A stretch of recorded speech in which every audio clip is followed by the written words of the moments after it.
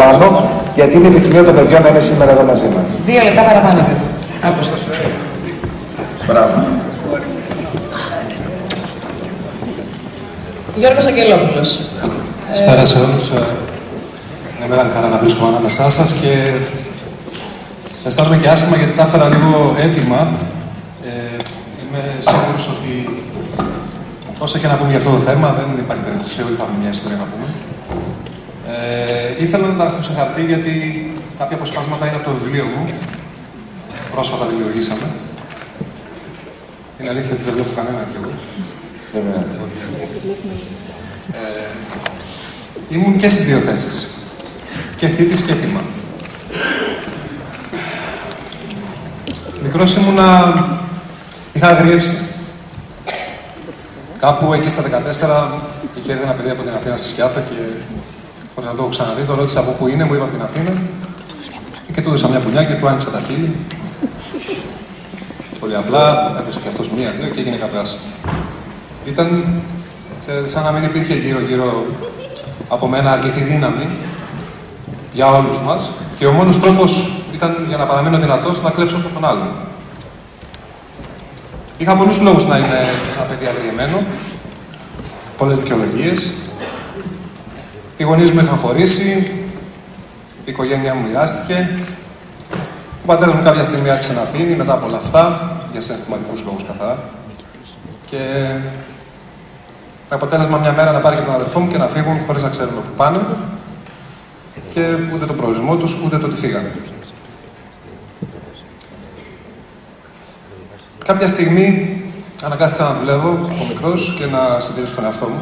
Να συντηρήσω τον εαυτό μου και μετά από λίγο καιρό έπρεπε να συντηρήσω και ό,τι είχε μείνει από το σπίτι, τη μάνα. Και ένα παλιό σπίτι υποθηκευμένο. Υπήρξα όμως πολύ τυχερός γιατί είχα και ευλογημένος, όπως θέλω να πιστεύω ότι είμαστε όλοι μας. Στον δρόμο μου βρέθηκαν πολλοί άνθρωποι με πολλή αγάπη. Με καθοδήγησαν ο κάθε ένας με τον τρόπο τους να ξαναχτίσω από το μηδέν ίσως τη χαλασμένη μου αυτοεκτίμηση και να ανακαλύψω εκ νέου την προσωπική μου αξία. Με βοήθησαν να δω και να αποκτήσω επίγνωση. Να καταλάβω πως, ε, πως ήμουν ένα παιδί με ασυνήθιστη σωματική δύναμη, όπως πολλά παιδιά, ότι ήμουν αγαπητός στην μικρή κοινωνία της κάθε τότε και αρκετά καλός, έως πολύ καλός σε πολλά από αυτά που καταπιανόμουν. Αυτά τα τρία έγιναν οι πυλώνες μου και σε αυτά τα τρία στήριξα την προσωπική μου αξία μετέπειτα.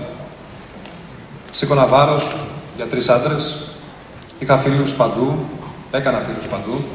Και φρόντιζα σε κάθε δουλειά που κάνω να, να αφήνω τις καλύτερες εντυπώσεις. Κοιτάζοντας πίσω τώρα, εκείνη την περίοδο που η αδικαιολόγητη βία έγινε για μένα επιλογή, θυμάμαι ένα μεγάλο κομμάτι της ενέργειάς μου να, να αναλώνεται στο φόβο πως κάποιος θα μου έλεγε χωρίς να με ειδοποιήσει κάτι για να με μειώσει, όπως ε, συμβαίνει συχνά. Ήμουν ε, συνέχεια σε επιφυλακή, σε ετοιμότητα. Είχα ανάγκη να θωρακιστώ και αν κοιτούσα τα εφόδια μου, το μόνο εφόδιο που είχα ήταν ο θυμός μου. Δικαιολογημένος μεν, αλλά αυτό ήταν. Τότε εμείς δεν το λέγαμε bullying αυτό, εμείς το λέγαμε μαγιά. Και λυπάμαι που θα το πω, αλλά αν βλέπαμε στα μάτια του άλλου ένα δύναμος, αυτό για μας ήταν το έπαθλο κερδίζαμε. Ήμασταν μάγκες. Σιγά σιγά, περνώντας ο καιρός και μέσα από κάποιους ανθρώπους που γνώρισα, κατάφερα να διακρίνω τη βία από τη δύναμη. Όμως πριν γίνει ξεκάθαρος αυτός ο διαχωρισμό μέσα μου, έπρεπε να προηγηθεί η δική μου προσωπική ενδυνάμωση. Να δυναμώσω εγώ πρώτα. Κάτι που έγινε σταδιακά και ολοκληρώθηκε όταν η προσοχή μου έφυγε από αυτό που λέει έτσι σαν τίτλος «Τι δεν είμαι». Έβλεπα τον εαυτό μου σπασμένο. Ξέρετε, τα γράφω και λίγο ποιοτικά για να, ποιητικά για να μην γίνομαι βαρετός, αλλά πραγματικά η αίσθηση του σπασμένου δεν είναι και τόσο ευχαριστώ όσο την έχω νιώσει. Και γι' αυτό το έγραψα έτσι, γιατί έτσι αισθανόμουν. Γιατί όλα όσα ήξερα για μένα που είχαν κάποια αξία, πολύ απλά δεν υπήρχαν πια. Και εννοώ την οικογένεια, την ενωμένη οικογένεια, την ροή των βασικών της επιβίωσης, την παιδική ανεμελιά, τρέχεις πολύ από εκεί χωρίς να σκέφτεσαι, πράγματα που δεν είναι η ώρα, την προοπτική της κοινωνικής ανάπτυξης, την πρόσβασή μου σε σπουδές και ίσως ένα πιο λαμπρό μέλλον. Όλα αυτά δεν ήταν δεδομένα για μια πια, συγγνώμη, δεν ήταν δεδομένα για μένα πια. Και αυτό που αισθανόμουν ήταν ένας θυμός και μια λύπη. Στρέφοντας όμως την προσοχή μου σε αυτό που είμαι και σε, αυτό, σε αυτά τα πράγματα που ήμουν, γιατί είναι και αυτά δεδομένα, και μακριά από αυτά που δεν ήμουν, τότε ηρεμούσα. Και πρέπει να σας πω ότι μόλις έγινε αυτό, οι σχέσεις μου με τα παιδιά που ερχόταν από την Αθήνα έγιναν πολύ καλύτερες. Και μια και ανέφερα το φίλο μου στην αρχή της ομιλίας μου, πρέπει να πω ότι το παιδί αυτό είναι μια χαρά, είναι χεριά κρασιλιές και, και είμαστε φίλοι μέχρι σήμερα. Ξέρετε κάτι, στη ζωή μου δεν έχω, δεν έχω γνωρίσει ένα πουλί που είναι ευτυχισμένος. Ανεξάρτητα από την ηλικία τους, είναι άνθρωποι θυμωμένοι για όλα αυτά που δεν είναι και θα ήθελαν να είναι. Για αυτά που ανέμεναν να έχουν, αλλά δεν τα έχουν. Και φοβισμένοι για αυτά που μπορεί να πάθουν από τους άλλους. Είναι η άποψή μου πως δεν είναι απλά παιδιά και ενήλικες χωρίς αυτοπεποίθηση. Είναι άνθρωποι με χαλασμένη αυτοπεποίθηση.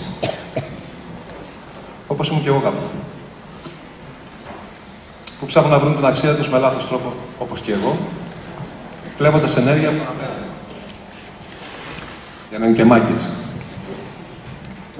Τώρα το λέμε bullying. Έχω ένα μήνυμα για τα παιδιά τα οποία έχουν πέσει ή θα πέσουν ή πέφτουν ε, θύματα bullying στο σπίτι τους ή στο γήπεδο ή ενδεχομένως στη γειτονιά που παίζουμε και τους ενήλικες που κάποιες φορές φωνάζεται αφεντικό παραπάνω ή τους αθλητές που φοβούνται τον, τον προπονητή τους και κάνει τα δικά τους, προσπαθεί με την δική του λάθος, έτσι, τακτική. Έχω ζήσει τέτοιες καταστάσεις, πολλοί από εσάς επίσης. Και να απευθυνθώ επίσης και σε οποιοδήποτε άνθρωπο ζορίζεται να βρει τη θέση του σε οποιοδήποτε κοινωνικό σύνολο ανήκει. Το μήνυμά μου, και τώρα το, το, το λέω και είναι σαν να ήθελα κάποιος να μου το πει, και με πολύ μεγάλη χαρά βρίσκομαι εδώ σήμερα να πω πως κανένας δεν μπορεί να πάρει τη δύναμη που έχεις εκτός αν την παραχωρήσεις εσύ. Όλα ξεκινούν από τη θέληση, από την πίστη στα θέλω μας. Ο άνθρωπος έχει μια δύναμη μέσα του που όταν βάλει το μυαλό του το οποίο ελέγχει τα πάντα σε τέτοια λειτουργία μπορεί να γίνει διαφορετικός και πολύ καλύτερος σε οτιδήποτε κάνει. Η πίστη, η πίστη είναι να πεις ότι μπορώ να το κάνω. Κυρίες και κύριοι, όλα, θέμ, όλα, όλα είναι θέμα απόφασης. Ίσως για μένα είναι ο πιο σημαντικός τίτλος του βιβλίου μου. Όλα είναι θέμα απόφασης. Αρκεί να το αποφασίσεις εσύ πρώτος. Παραδέχομαι ότι υπάρχει αντικειμενική πραγματικότητα δεν είναι όμως σπάνιο η πίστη, η πίστη που έχουμε να διαφοροποιεί την αντικειμενικότητα. Κυρίως την αντικειμενικότητα που έχουν οι άλλοι για εμάς. Έτσι δεν είναι; Σωστά. Η δική μας πίστη σε όλα όσα είμαστε και όλα όσα μπορούμε διαφοροποιεί αυτό που πιστεύουν οι άλλοι για εμάς. Η δική μας πίστη. Αυτή είναι η διαφορά. Οι άνθρωποι για τους ανθρώπους ο ένας για τον άλλον δημιουργούν κατηγορίες. Θεωρώ ότι την κατηγορία που θα μπούμε την αποφασίζουμε εμείς και όχι οι άλλοι για εμάς. Γι' αυτό, μέσα από τη δική μας πίστη και θέληση, αλλάζουμε τις κατηγορίες τις οποίες μας έβαλαν.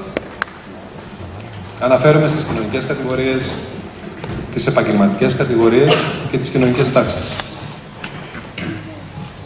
Είναι καθαρά στο χέρι του υγιής, στο μυαλό ανθρώπου, το τι θα αποφασίσει για για το επάγγελμά του, ποιο θα διαλέξει για φίλο του. Και για τρόπο ζωής στην τελική, για οτιδήποτε θέλει να κάνει. Είναι δικαίωμά του. Η ζωή μας καθορίζεται ως ένα σημείο από εμάς. Και αν ο περίγυρός μας μας έχει κατατάξει διαφορετικά, στο χέρι μας είναι καθαρά να, να τους πείσουμε για τις επιλογές μας. Όλα μας, όλα μας τα πράγματα τα έχουμε εδώ. Και καλά θα είναι να τα έχουμε εδώ για να μην περιμένουμε πολλά από τους άλλους. Έτσι λιτώνουμε και την απογοήτευση πολλές φορές. Είναι στη φύση των ανθρώπων να κατατάσσουν τις άλλες κατηγορίες. Και κλείνοντας, ξέρω ότι έχετε κουραστεί και έχετε ακούσει πάρα πολλά πράγματα. Θα ήθελα να πω ότι αυτό που ξεχνάμε εμείς οι άνθρωποι είναι ότι αποδεχόμαστε μια κατηγορία που οι άλλοι μας έβαλαν, την κατάταξη που οι άλλοι μας έβαλαν, χωρίς να κάνουμε κάτι. Έτσι, αμαχητή. Δεχόμαστε την ταμπέλα. Ναι, ίσως γιατί έχουμε σταματήσει να εκτίσουμε τους εαυτούς μας. Για πολλούς λόγους. Ίσως από το ότι θέλουμε να μοιηθούμε τον δίπλα, μηχανικά και χίλιους δυο άλλους λόγους. Και σε κύριε, κάπως έτσι είναι τα πράγματα. Αυτό που θα ήθελα να πω και να σας ευχαριστήσω που στηρίζετε αυτή την προσπάθεια από τη δική μου πλευρά και ό,τι και να πει ο καθένας εδώ, είτε παράδειγμα φέρει, είτε μια ιστορία, η ιδεολόγια είναι πάρα πολύ χρήσιμα. Κλείνοντας, θα ήθελα να πω ότι το τι είμαι θα το αποφασίσω εγώ. Και μόνο εγώ. Και όχι αυτός που με βλέπει από απέναντι. Και μια και θα μας ακούνε ή μας ακούνε ή μας, θα μας δουν κάποια παιδιά, παιδιά, μιλήστε. Να είστε καλά, ευχαριστώ. Ευχαριστούμε πάρα πολύ για την που ήταν εδώ μαζί μας και το σήμερα είμαστε για να κάνουμε χάρες και να κάνουμε